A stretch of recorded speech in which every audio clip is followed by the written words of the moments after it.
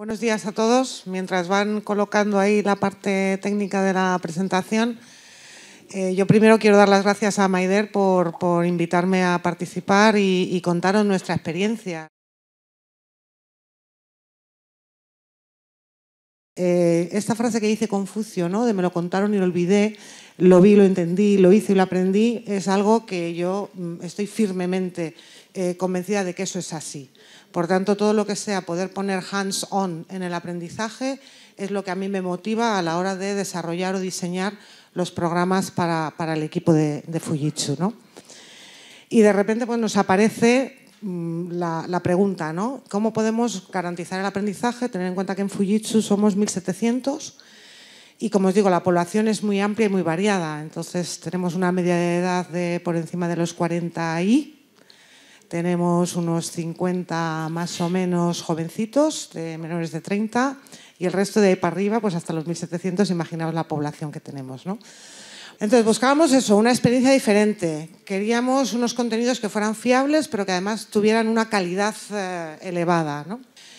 que tuvieran mensajes que estuvieran muy alineados con la visión y con la estrategia nuestra. ¿no? Y ahí he de reconocer que en los tres programas la verdad que estamos muy alineados.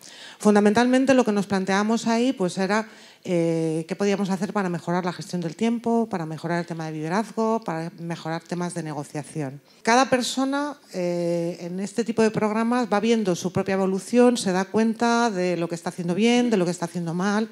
Como decía antes Maider, el feedback es prácticamente inmediato. Y además, al, ser un tema que lo hacemos jugando, pues realmente no te lo tomas a mal. No es como si viene el jefe y te cuenta, o un colaborador y te dice, oye, esto lo estás haciendo fatal. Sino que ahí estás realmente participando y el juego te va diciendo cosas y tú dices, ah, pues efectivamente, ¿no? lo recepcionas de una manera diferente. ¿no? Luego hay una serie de simuladores que ellos utilizan que para mí era fundamental también porque hace que la gente sienta que realmente el entorno es seguro. Muchas veces en la parte de formación, desarrollo, siempre hablamos de generar esos escenarios, de, que la gente puede practicar, hacemos roleplay y no pasa nada y todo es seguro, pero sigue habiendo mucha gente que dice, bueno, ya, pero ya me has visto, ¿no? y ahora cómo te quitas tú que efectivamente yo aquí he metido la pata. ¿no? Por tanto, ahí el entorno es súper seguro. La relación con, con GameLearn, que para mí ha sido extraordinario, yo creo que el trato ha sido excelente. Cada una de las dudas, preguntas, retos que les hemos planteado han estado súper rápidos y con una capacidad de escucha fantástica y eso para mí es muy importante a la hora de contratar también una persona que nos ayude y por su capacidad de resolver problemas. Fijaros, aquí os doy alguna muestra y yo soy mucho de presentar eh, los gráficos en función a lo que se llama el semáforo. ¿no?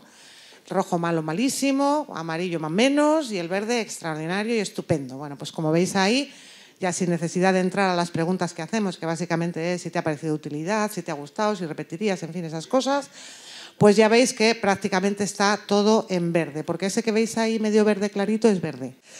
Y eh, los datos, pues también Maider ha hablado de ratio de finalización, de aplicabilidad, de recomendación y como veis los ratios pues son, son aplastantes, ¿no? O sea que nosotros estamos muy contentos con, con haber implementado, haber incorporado este tipo de acciones.